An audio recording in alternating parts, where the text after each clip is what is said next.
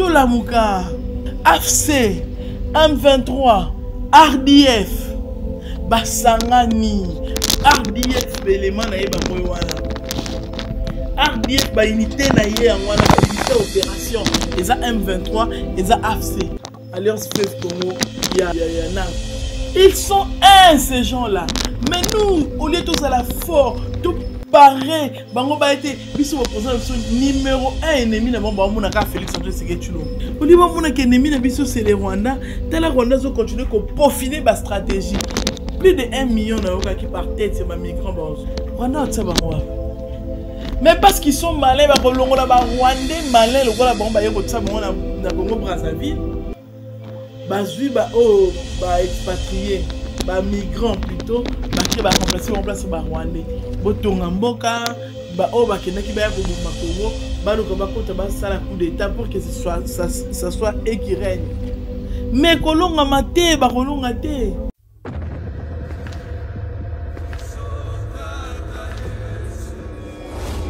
Depuis le début, il m'a tenu la main. C'est à cette promesse que je me suis accroché et j'ai pu tenir ferme. J'ai traversé la mer. Elle ne m'a pas submergé. J'ai traversé le feu. Il ne m'a pas brûlé. Aujourd'hui, j'ai témoin qu'il m'a accompagné tout au long du chemin. Et je suis finalement arrivé à ce stade de ma carrière. Moïse Billet, au Stade de Martyrs, le dimanche 19 mai 2024. Ticket disponible dans les agences Rebanque et Illicostore.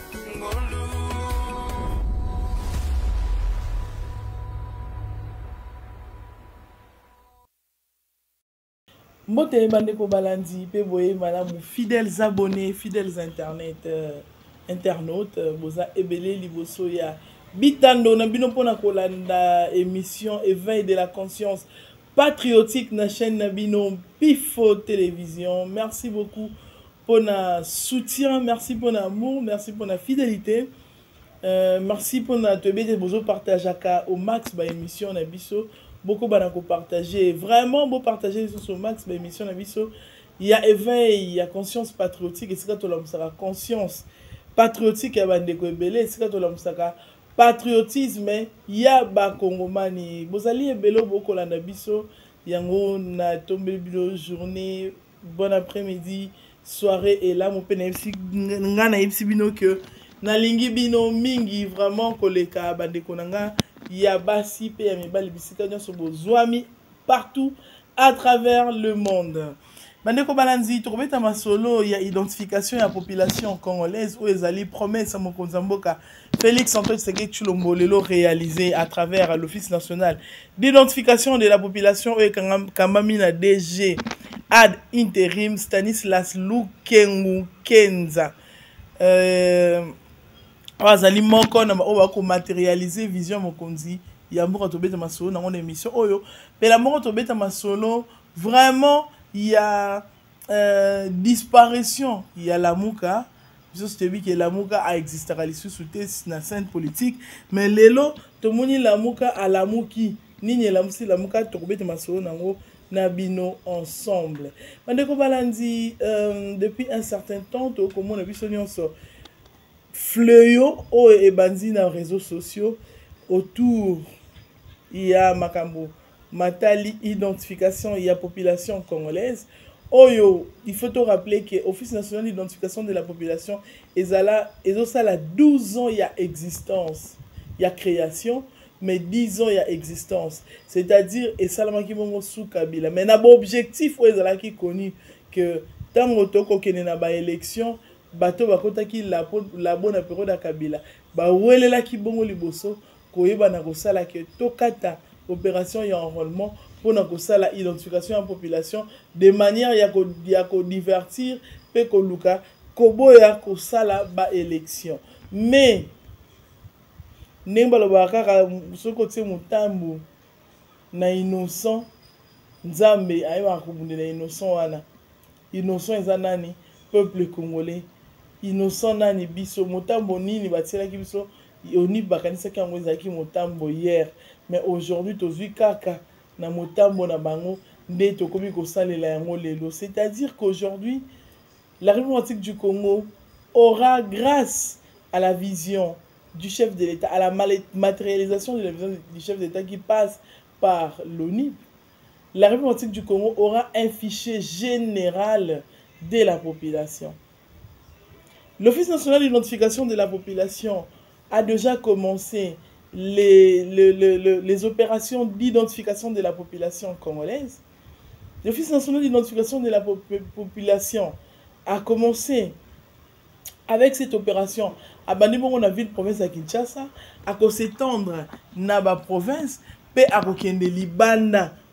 na libanda parce que nous devons ici dire que toza na ba congolais bavandaka partout na mokili nga na kamwa na mona slanka congolais moko abala fille ya kuna babotaka baboti mpe bana bazovivre vie moko épanouie bacongolais na jordanie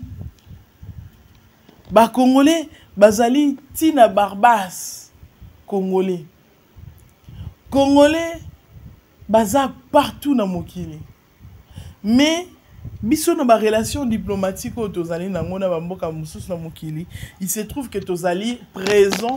na 66 pays à travers le monde et parce que tozali na 66 pays à travers le monde l'office national d'identification de la population va également identifier les congolais qui se trouvent dans ces 66 pays à l'extérieur du pays parce que dans le monde selon bastatistique pays oyo ya liboso bakongole bazali ebele ndeti na afrique awa ezali zambie après afrique du sud ainsi de suite bakongole toza partout à travers le monde et la ceni hier ayi a, a, a enrôlé et la ceni Uh, vouloir enrôler les congolais vivant à l'étranger azwaki nanu 5 pays pilotes oyo ezalaki lokola bapays échantillon mpona bazwa échantillonnage mais ezalaki mpe bapays oyo epermetaki na bango bayeba ndenge nini bakosala déploiement prochainement déploiement euh, prochainement ndenge nini baactivité ya opération ekosalama ndenge nini bakoprépare monitoring ndenge nini opération na bango ekozala organise ndenge nini bakoorganize euh, transfert ya badonné na fichier mais peut-être demain ou après demain la CENI C'est durable. écoutez, nous avons déjà été dans 5 pays. On voudrait maintenant prendre 10 ou 15 pays. Mais avant qu'on ne soit surpris par la CENI, c'est pourquoi on a ça la identification na ba pays oyo oh, oh, a libanda. nalobi na 66 représentation wana omona onipo alobi tobanda nano na 5 ndenge seni abandaki mpe tokende progressivement mituna mosusu batunaki nga exodis maintenant que onip akosala identification seni akosuka boni bato bavandaka libanda sur d'autres cieux bayebi lokola nga koleka ngai kutu peut-être que na ba mboka ya serieux c'est l'ONIB qui donne ou son équivalent mpo misusu ezalaka badepanda oni adepandaka na ministère ya intérieur mais misusu intérieur ye moko asalaka mosala wana à travers d'autres services service wana oyo mpa na biso ezali onip entreprise ya leta wana to mpe établissement wana Ye nde akozwa ba donnees ya ba majeurs, c'est-à-dire ya strate oyo babengaka donc couche ya population oyo babengaka la population electrice to mpe couche oyo bazali na age ya ko voter. Akopesa na ceni mpo eyeba komilengela na ko organiser ba elections. misusu batunaki sikoyo biso faut carte ndenge nini il faut signaler na bato nyonso l'office national d'identification de la population est en train d'identifier c'est vrai que l'identification a commencé euh, dans quelques coins mais ça va s'étendre et l'office national d'identification de la population Ces operations sont perennes, à vie, et collées biso, nenge état civil et zalaka, nenge office d'identification de la population peut zalaka. Ça sert à rien, papa, maman, ndeko, kokima, kokende, ba, na yoki bazo ko identifier na bandal, na kende na bandal, na yoki bazo ko identifier na lingwala, na kende na lingwala. Restez dans vos communes, dans vos quartiers. na ba bisika na bino respectif office national d'identification na déploiement akoya na baquartier na bacommune eza na bacommune mosusu oyo akozala na chaque quartier to mpe bacommune mosusu oyo soki concentration ya population ezali forte na quartier eh, baumbu bato na kutu baza, baza mingi te bato na bamboma baza mingi te to mpe na, na, na boma baza mingi te nde bato wana bino nyonso boye na quartier baumbu ainsi de suite na maviokele bato baza ebele kasi bataleki ah, quartier eza avant maviokele bato baza mingi te alors office national d'identification aza na maviokele bino bato bozwami ntango mosusu na boma bokei boye ainsi de suite donc l'office national d'identification sera avec nous misusu batuni me document nini ngai na koaprete mpo na nakende kosidentifie document koaprete ezali carte d'électeur oyo ezali lisible bolimbisi oyo batumba te bazikisa te oyo nine nimero wana ekomonana oyo nkombo ekomonana foto eyali komonana passeport acte de naissance euh, certificat de nationalité hmm, jugement supplétif je pense euh, le permis aussi donc badocument wana yango moto akopresente mpe moto akopesa nkombo na ye nyonso nkombo baboti baboti ye papa mama nkombo ya quatre grands parents c'est-à-dire koko ya mwasi oyo abota papa na ye mobali abota papa na borigine na bango koko ya mwasi oyo abota mama na ye mobali abota mama na borigine na bango soki oza na bana nkombo ya bana badate de naissance les informations sur les enfants et sur vous-même votre situation maritale situation professionnelle nde bongo koyeba na kokende na se kuna otie lokolota ozeli bapesi yo récépissé ozeli baservice oyo bakoya koconfirme ke ndeko azali eh, congolais to azali congolais te soki basilisi mosala na bango bapesi yo carte d'identité na yo entre-temps badonne na yo ekoti na kati ya fichier général ya population donc c'était important de quand même répondre à toutes ces questions étant donné que les questions avaient été légion batuni na gauche batuni na droite lelo mokonzi ya mboka félix soki esekeki tshilombo aye kozongisela biso fierté nationale Parce que rien que par les données que nous aurons, ça va aider vraiment au gouvernement de bien faire son travail. Fidèles internautes, nalobaki tokobeta masolo ya lamuka ndenge nini lamuka azongi circonstance nini ezongisi lamuka toyebi biso nyonso ke ndeko fridolin ambongo alekani na bapropos mingi adifame alobi mambo ya lokuta mingi oyo etindi ye a commettre ba infractions ebele. Mais tango ndeko babengi ye, ndeko akomi komimona lokola azali justiciable te au regard des accords oyo ezala signe entre la Republique Democratique du Congo et le Vatican. Mais, meme quand on est dans l'opposition, on ne s'oppose pas aux choses qui sont bonnes. Fayulu s'oppose à cette interpellation. Il dit, il demande même à la population de pouvoir sortir na balabala basala désordre. Soki kaka bayebi na ko continuer kobengisa to mpe kointerpelle ndeko Fridolin Ambongo. ozongi na circonstance ya mabe oyo ezotinda bato baregrete pourkui komona ekoti ata na histoire ya congo babetaka ata lisolo ke candidat malere moko azalaka pourkui tu n'aurais pas du martin fayulu vanda na opposition na ndenge ovandi luka basujet moko ya malamu tala ndeko na kobetela maboko na, na, na ndeko na biso adolphe mozito un opposant aussi comme toi vous avez d'ailleurs été ensemble haine na yo nde ekabola ona ye ndeko na biso ayoki makambo ya révision ya constitution abi moi je suis favorable mpo na révision ya constitution parce que cette constitution qui est la nôtre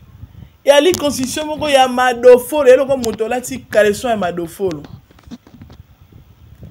ya mabamba bazwi makambo oyo bazwi boye en pelle mel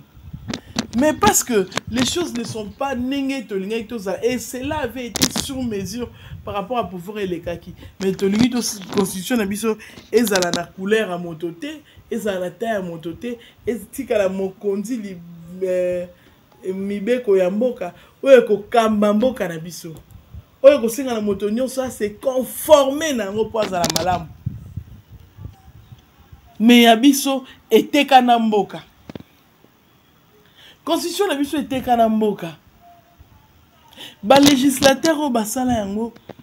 nga natunaka esi zete vraimen de congolais to na nsima basimbelaka bango bamindoki na motu osali kaka bougine okomi eloko biso tolobi na okoma te basali n'importe quoi Ko balandi. Il est important, encore une fois important, de vouloir biso nyonso que tolinga komona constitution na biso ezala changer je vais nous lire l'article 200 17 de la constitution ya, ya république démocratique du congo ekoloba na biso boye constitution oyo bacongolais soit disant basala article 217 elobi la rdc peut conclure des traités ou d'accord d'association ou de communauté nayebisaki bino l'autre fois quand on parle des ethnies par exemple mboka biso tolobelaka mingi bango baethnie na batribu ethnie boye tribu boye mais ntango batuti babetaka masolo na bango il ne parle jamais d'ethnie il parle de la, au nom de la communauté tutsi awa na mboka biso tozala na bacommunauté te mboka na biso toza na baethnie toza na batribu na bakongo tobengaka misusu baluvila mais bango bazala kaka kobeta masolo ya baassociation na ya bacommunauté tokita balobi la rdc peut conclure des traités ou des accords d'association ou de communauté non la rdc peut conclure des traités ou des accords d'association ou de communauté c'est-à-dire la rdc peut conclure des traités des ou des accords d'association c'est-à-dire même traités et association accord bah, tu peux traiter de communautés, Je ne sais pas si je me fais comprendre. On dit ici la RDC peut conclure des traités ou d'accords d'association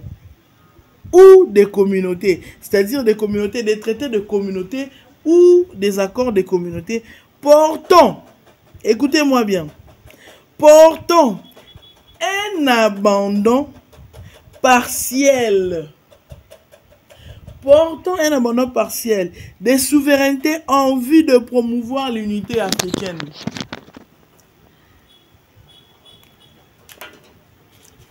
est ce que moto moko ayoki eloko tobandela yango constitution hein, ya mboka oyo ezali sense eprotege mboka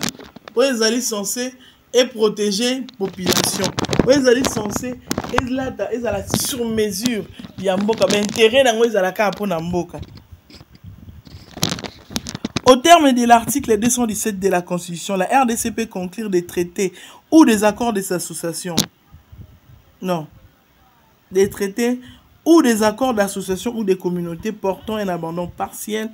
de souveraineté en vue de promouvoir l'unité africaine. pour une dernière compréhension, au terme de l'article 217 de la Constitution,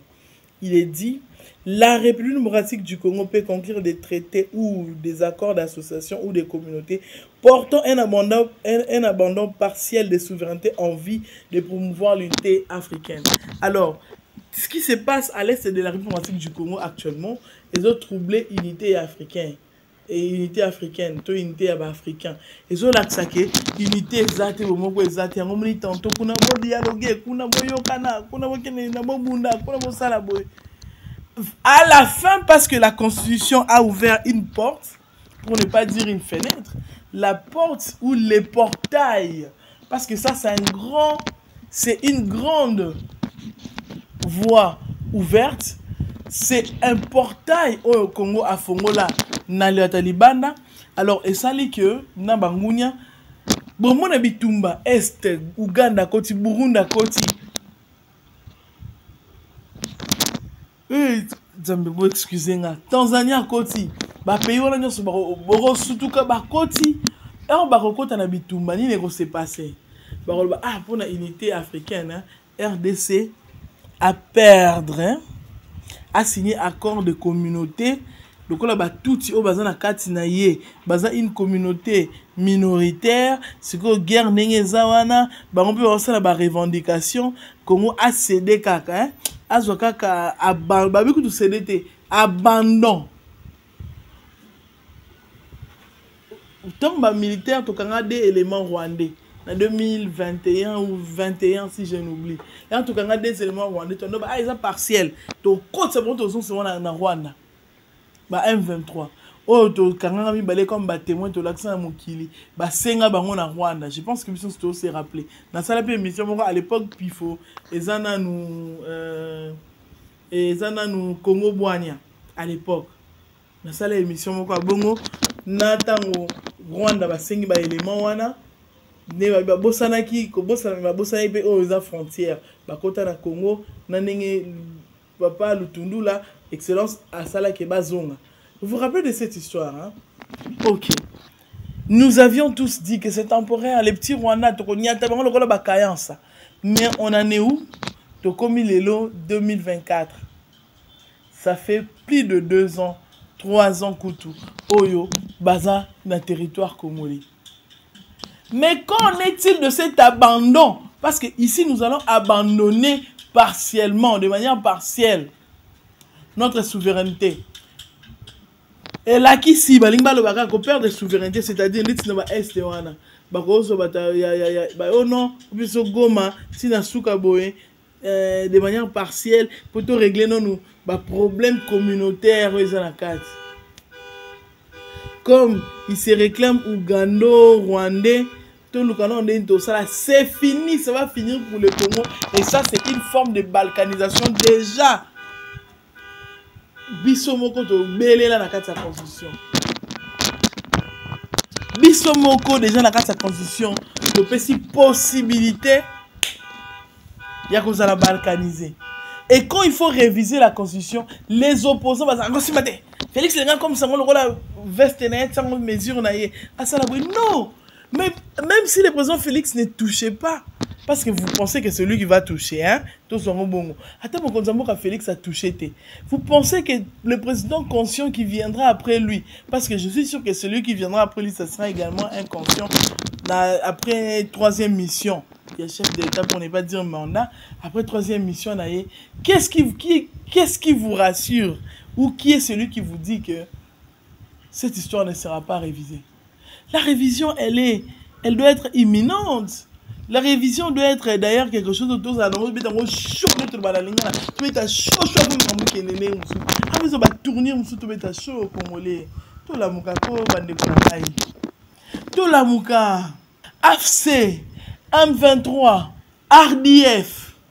basangani rdf baelema na ye bango ye wana rdf baunité na ye yango wana baunité ya opération eza m23 eza afc alliance fleuve congo ya, ya, ya nanga ils sont un ces gens là mais nous au lieu tozala fort barin bango baye te biso bapoza na biso numero 1 ennemi na bango bamonaka félix antoine seke tshilombo olie bamonaka ennemi na biso c'est le rwanda tala rwanda azocontinue kopofine bastratégie plus de 1 million nayokaki par tête bamigrant baozo rwanda atia bango wapi mais parce qu'ils sont malin bakolongola barwandais malin lokola bango baye kotia bango na congo brazzaville bazwi baoyo baexpatrie bamigrant plutôt bake baremplace bango place barwandais botonga mboka baoyo bakendaki baya koboma congo baluka bakota basala coup d'état pour que ça soit e qui règne mais kolongama te bakolonga te félix oto eseke chilombo c'est quelqu'un qui est comme ça comme ça na maboko ya nzambe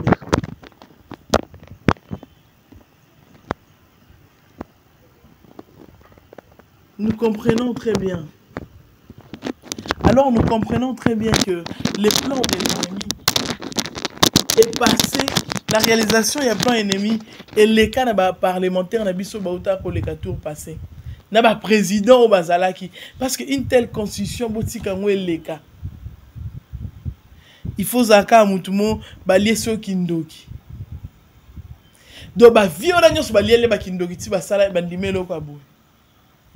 dieu vous voit et dieu va vous confondre le congo la république démocratique du congo ekotikala mboka ya bacongolais oye kofanda na mboka na biso zwa carte ba résident zwa carte ya permis de travail zwa soki permis d'étude zwa soki nini Mais tu seras identifié et la carte, même si tu es identifié, la carte, tu n'en auras pas. c'est... Ça fait très mal. Franchement, je vous le dis comme ça, ça fait mal.